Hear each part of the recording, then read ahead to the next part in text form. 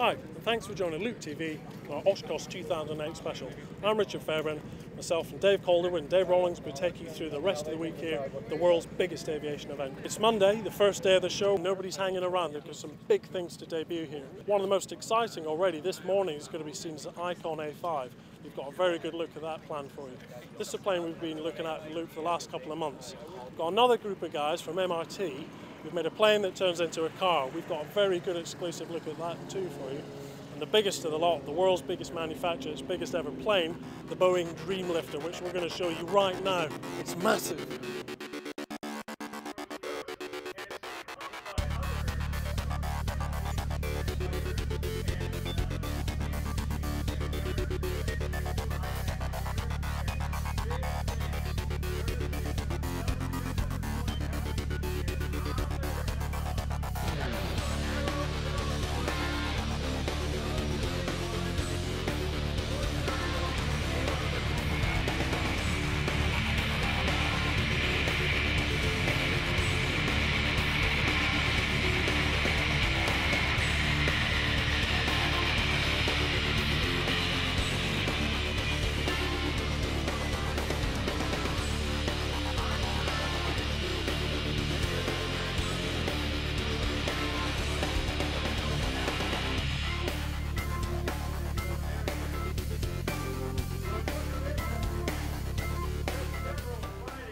Now for one of the most anticipated launches of the event, the Icon A5 amphibian plane.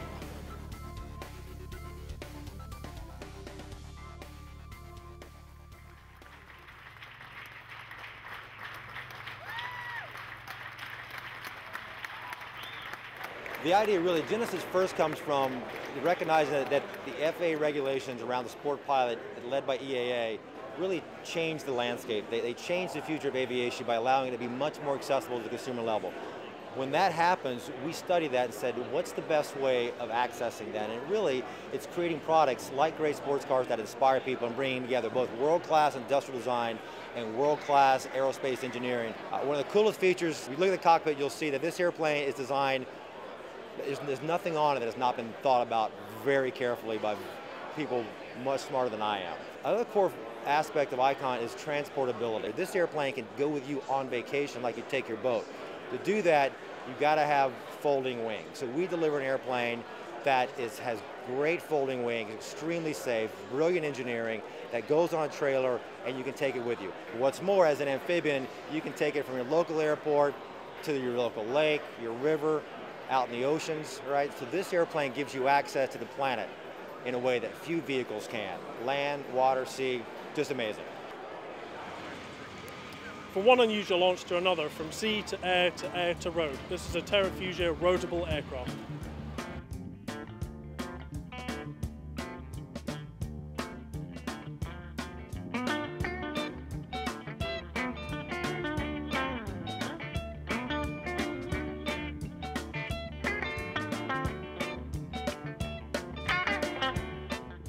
Terrafugia has transitioned our proof of concept vehicle.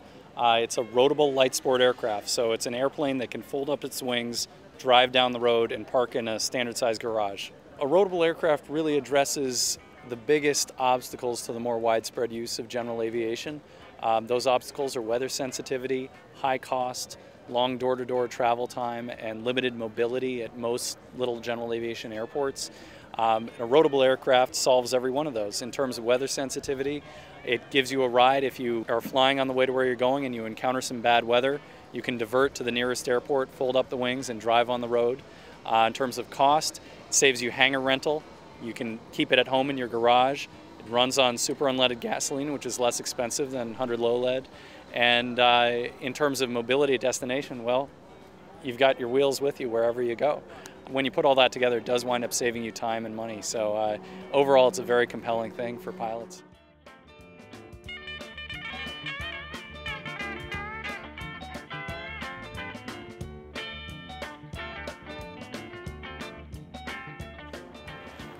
So that was day one of Oshkosh 2008. Join us tomorrow here on Loop TV.